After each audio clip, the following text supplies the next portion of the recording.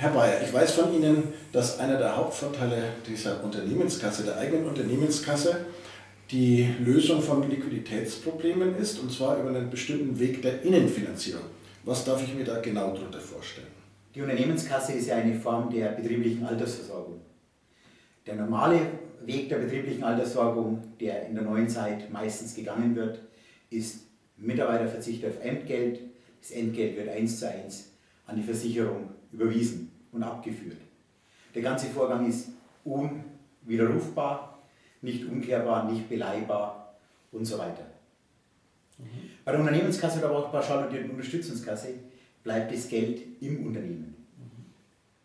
Das Geld wird an die Unterstützungskasse überwiesen, es wird der Betriebsausgabenabzug geltend gemacht, die Unterstützungskasse überweist eins zu eins das Geld im Darlehenswege wieder zurück.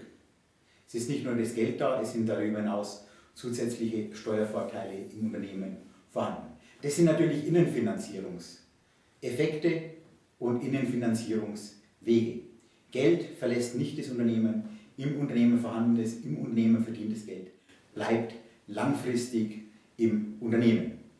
Wenn man sich jetzt die Entgeltumwandlung vorstellt als Darlehen vom Mitarbeiter, dann ist es sehr langfristiges, ein sehr zinsgünstiges und letztendlich auch sicherheitenfreies Darlehen und ist natürlich dazu geeignet, nicht nur in Sach- und Realwerten zu finanzieren und zu investieren, die auch wieder liquidierbar sind, sondern vor allem auch Kontokorrentkredite, Darlehen zurückzuzahlen oder zumindest das Geld so anzulegen, dass es als langfristige Liquiditätsreserve für den Notfall erhalten bleibt.